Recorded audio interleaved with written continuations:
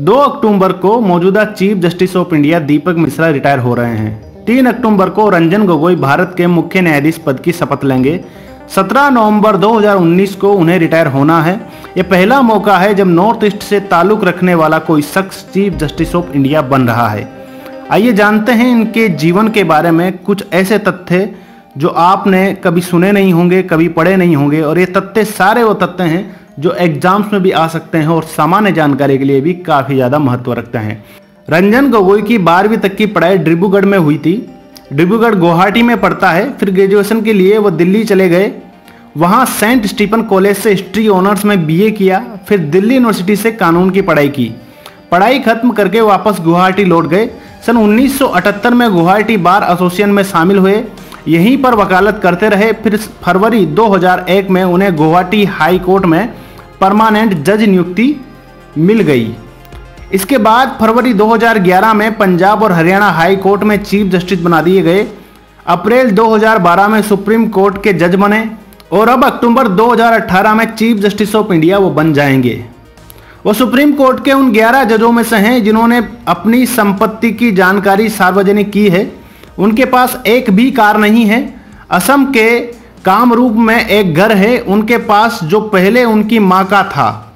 उनकी माँ का घर अब उनके नाम पे आ गया है। माँ ने उन्हें दे दिया है। उनके बारे में लोग कहते हैं कि वो मीठा बोलते हैं, मगर कोर्ट के अंदर जस्टिस संजय गोगोई बड़े सख्त नज़र आते हैं, बड़े सख्त माने जाते हैं। इनके बड़े फैसले की अगर बात की जाए तो जज का करियर उनके फैसलों से तोला जाता है। रंजन गोगोई अभी रिटायर नहीं हुए हैं। चीफ जस्टिस ऑफ़ इंडिया की कुर्सी पर भी नहीं बैठे हैं। फिर भी उनके नाम कई सारे लैंडमार्क केसेज हैं, जिनको जानना ज़रूरी है, पूछे जा सकते हैं। असम में हो रहे national register of citizens NRC के साथ रंजय गोगोई का नाम जुड़ा है। 2013 में सुप्रीम कोर्ट के अंदर एक याचिका दाखिल की गई थी। इसकी सुनवाई का जिम्मा रंजन गोगोई और जस्टिस रोहिटन नरीमन को मिला था। इसके बाद सुप्रीम कोर्ट की देखरेख में एनआरसी का काम आगे बढ़ रहा था। इसका पहला ड्राफ्ट अब आ चुका है वर्तमान में। आपने देखा होगा एनआरसी जैसे ही आई थी, बहुत सारी मीडिया कवरेज वहाँ पर हुई थी और बहुत सारे मुद्दे निकल के सामने आए थे। वो भी एक इश्यू है। सरकारें अपनी योजनाओं को चुनावी फ़ायदे के लिए खूब बुनाती है। पोस्टर होल्डिंग्स योजनाओं का नाम होगा।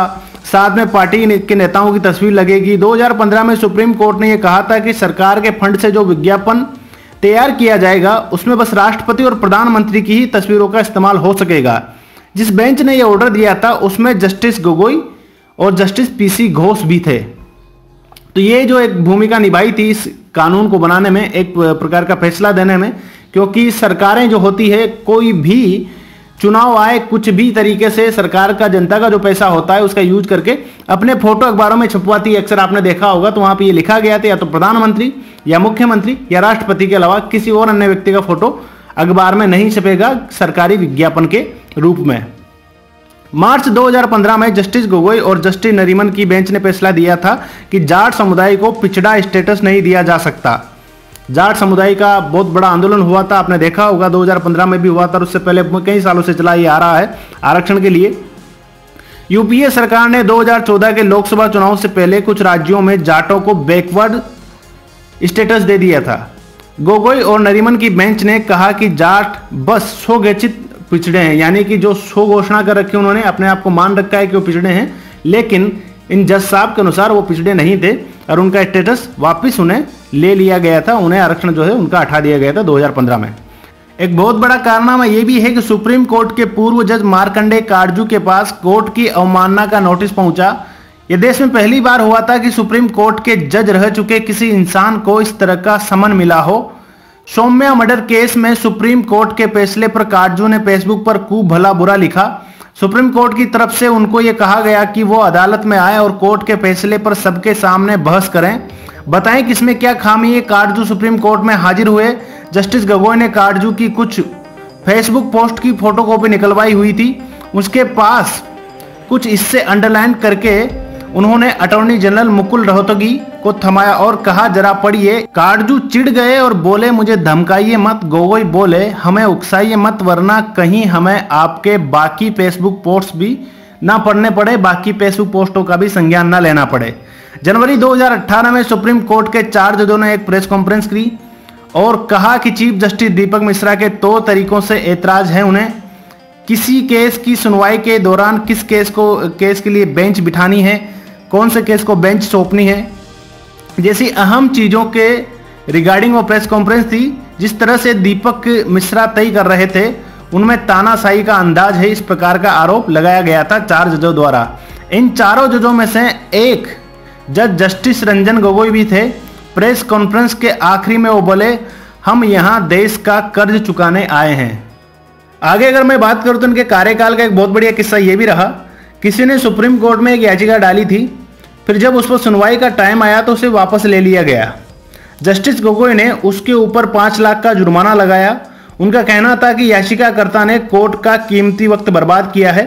उसकी याचिका की वजह से जज को 800 पन्नों को पढ़ना पड़ा और इतनी मेहनत और इतना वक्त किसी और ज़रूरी केस को सुनने में खर्च हो सकता था। जुर्माना लगाने वाला ये शायद सुप्रीम कोर्ट में पहला ऐसा केस था। 2017 में गुवाहाटी में आयोजित एक प्रोग्राम में बोलते उन्होंने ऐसा कुछ भी कहा था। पेंडिंग पड़े केसों के अंबार ने भारत की न्यायिक प्रक्रिया को जकड़ा हुआ है। इसकी वजह से दुनिया में हमारी छवि खराब हो रही है। रंजन गोगोई बतौर जज अपने शुरुआती दिनों से ही अदालत के वक्त बचाने के पक्ष में रहे हैं।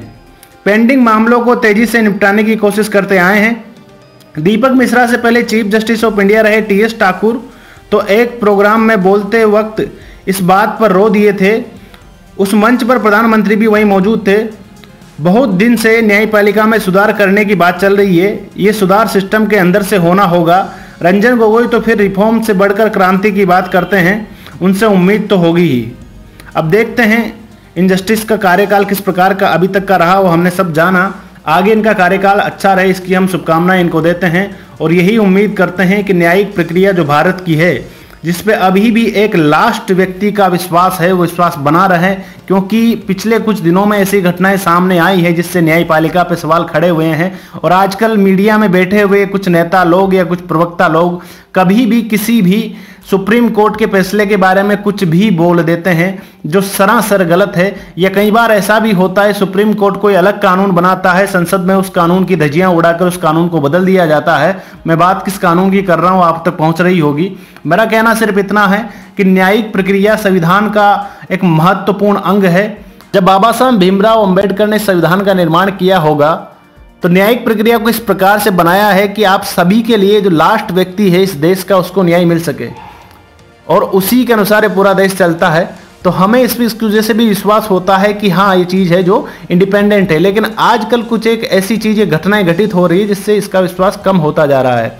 हम यही उम्मीद करते हैं नए चीफ जस्टिस साहब के आने के बाद कुछ न कुछ और परिवर्तन होगा, कुछ विश्वास और बढ़ेगा, जनता का न्यायिक सोच में न्यायिक जो कार्यालय होते हैं, न्यायिक जो फैसले होते हैं उनके अंदर। फ़िलहाल के लिए धन्यवाद, बने रहिए डी गुरु के साथ। थैंक यू जय हिंद, जय भारत। ये वीडियो लेक्चर, या ऐसे कुछ भी कहें, या बायोग्राफी कहें, कुछ भी कहें, अगर आपको अच्छा लगा हो तो इसे शेयर करिए लाइक करिए सब्सक्राइब करने के मैं कभी नहीं बोलता, आज भी नहीं बोलूँगा। धन्यवाद, जय हिंद, जय Bharat thank you welcome to the D S Guru ji dot com इस वेबसाइट को स्टूडेंट की हेल्प के लिए डेवलप किया गया। है यहाँ पर आपको सभी सब्जेक्ट के नोट्स मॉक टेस्ट और क्वेश्चन उपलब्ध कराए जा रहे हैं। साथ ही साथ आपको करंट अफेयर और योजना के इतिहास की जानकारी मिलती रहती है और भारत में निकलने वाली कोई सी भी वैकेंसी हो, इसकी जानकारी सबसे पहले आपको दी जाती है। एक बार आप डी को विज़िट ज़रूर करें।